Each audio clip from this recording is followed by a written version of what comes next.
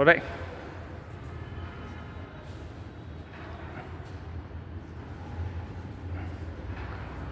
Mọi người chân trụ, Mọi người khép chân vào đừng có xòe con chân ra, Nó sẽ bị cản đấy.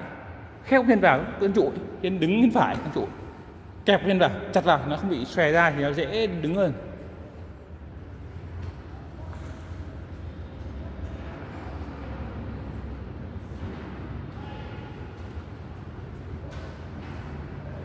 Cố lên cả bạn à, Trang lẫn bạn uh, Uyên xoay lên một chút nữa đi.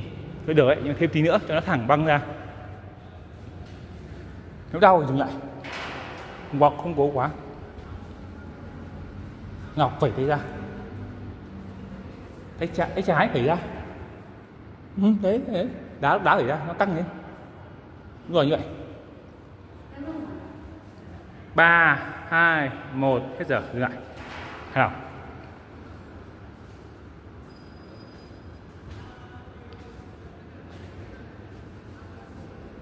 Kỹ thuật cần bình tĩnh.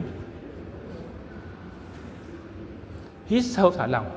Mọi người làm càng mềm người đau. Mọi người càng gồng lên thì càng dễ đau. Bình tĩnh nhé. Thi đấu khác, thi đấu là cần nhanh, mạnh. Còn đập kỹ thuật quyền để chính xác, cân bằng.